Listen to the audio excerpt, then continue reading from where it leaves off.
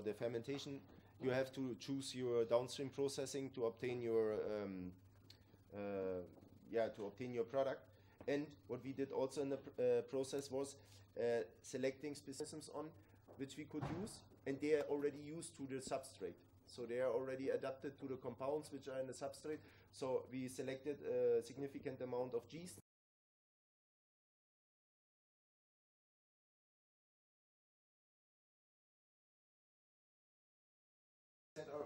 For PHB. Normally, the, the standard met- methodology is chloroform. Chloroform is not very environmentally that everybody can. So this is this is PHB what we uh, achieved from uh, the potato peel. Dialysis, which we are using for the succinic acid to get the concentration and a cleaning step, or only to remove, for example, biomass. You can use uh, um, uh, ultrafiltration, a continuous filtration uh, uh, system, where we were also going to a, to a bigger scale to obtain the, the respective material.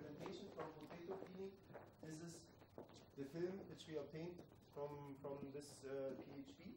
So this is a plastic. You can also uh, touch it. So this is uh, what you can use then for different uh, packaging. Also some other examples. Uh, there, Biotrend, for example, worked in a project called Bug Workers. You can improve the characteristics of PHB by including uh, made uh, of polylactic acid.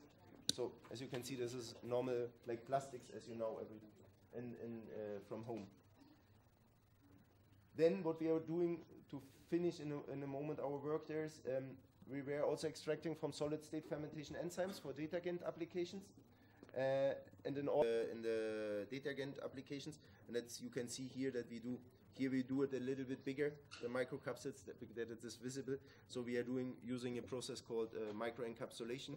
Uh, there you have some some examples, and also some of the um, raw materials maybe contain. Uh, uh, some of the byproducts contain itself already compounds with with a high value, which could be extracted, and then in some cases you micro, microbial biomass uh, or also something from the extraction uh, steps.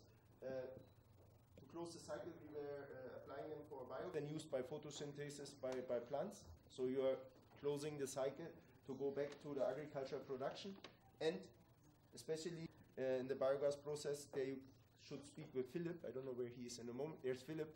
Uh, they're the expert for organic waste systems.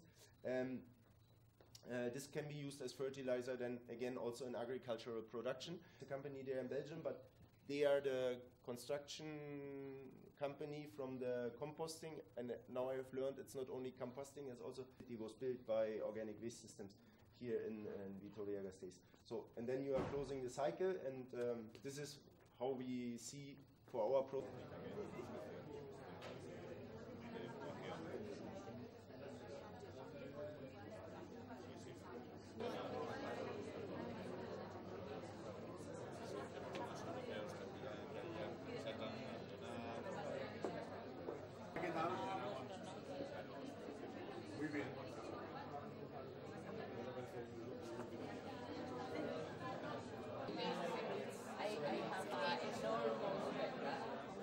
Yeah, but the room is uh, red is cheap.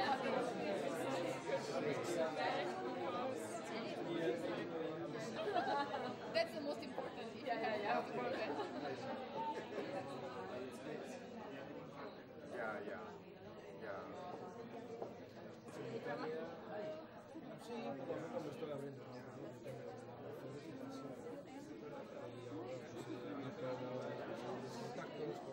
Porque